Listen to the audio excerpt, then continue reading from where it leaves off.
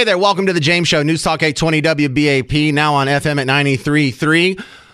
Coming up on Monday, an astronomical event, which won't be repeated in North America for another 20 years. There will not be another total sol- solar eclipse anywhere on this giant swath of land we call North America.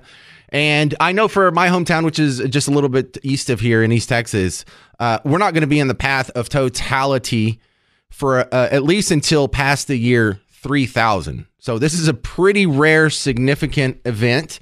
And I'm told, I'm skeptical, but I'm told it's going to bring in billions into the economy of anyone who happens to be in the path of totality. And my next guest can break that down for me. Lisa Miller. She's uh, author of the new book called The Business of Joy, but also just published a blog on the economics of the eclipse. That number sounds kind of high to me, Lisa. Where's all this coming from? Well, uh, thanks for having me on. And I actually, with all of the buzz and hype about it, I do consumer research. So I'm one of those people that collects data to really understand the story under the story. But when I ask the consumers, like how many people are going to, you know, live in the areas, how many people are going to travel, it's it's big numbers. I mean, basically, 32 million to 36 million basically live in the path of the of this eclipse. And then another, you know, up to 12 million people are going to either be driving, flying, getting in their RVs, going camping, and just, you know, traveling to actually see the eclipse. So when you add it all up, it actually it actually could be well over a billion dollars easily um, when you think about how many what people are spending. So one skepticism, point of skepticism I have, not with your breakdown, but any of these breakdowns, you know, like when you host a Super Bowl or you host the Olympics or you host some event, is that, yeah, a lot of this money that will be spent on this event would have otherwise been spent in a similar recreational activity that wasn't associated with the, this event. So really, you're just shifting where the money is circulating and not actually adding anything new to it. Well, what's interesting is that's a great point. I love that. And if you think about, I always talk about the Taylor Swift concert, right, as kind of a, a paradigm buster, right? And we know that people shelled out, you know, hundreds of dollars for these um, activities and they traveled. And to some degree, you may be right in the sense that, you know, people are going out less frequently, but splurging when they do. But I think at the end of the day, it's still going to be a net positive because um, people are craving these social connections. Um, I've been studying joy since the beginning of the pandemic, and people are just wanting to create moments and memories. And so they are kind of splurging on these opportunities with friends and family. Do you have uh, a guess on the, like the average amount of spending one of these eclipse seekers will be doling out? Well, I do. I did ask that question. So what I did is I asked them different types of activities. So are you going to a hotel or you know these different types of things. So most of Americans that live in the path, they're going to just spend you know maybe fifty dollars or less, and it might be a T-shirt and a pair of glasses, right? Because those are like the must-haves. But then you add on top of it, I might grab a bite to eat while I'm out and about. And we know that restaurants have been really struggling. So, you know, the average person could end up spending, you know, anywhere, you know, a hundred, hundred fifty dollars. But when you add in the people that are getting on a plane, um, you know, a percentage of Americans are actually going to spend several hundred dollars. And let me just give you one example because I'm in okay. Dallas as well.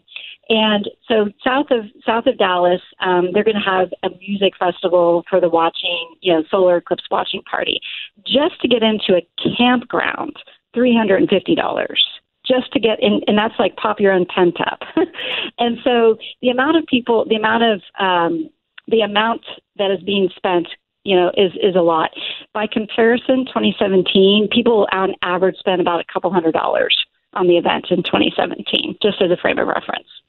Yeah, well, millions of people doing the exact same thing is going to have some sort of economic reverberation any uh, anyway. But hey, congrats! I saw you got quoted on uh, Fox News and Fox Business for this uh, survey. So good on you bringing some attention to a, a Texas firm there. Yay! I'm a native Texan, so I'm doing my part. when you're not studying the eclipse, what else does Lisa W. Miller and Associates do? Well, what I do is I publish this book about the business of joy, and the whole premise was back in March of 2020, when joy was greater than fear, the economic recovery could begin.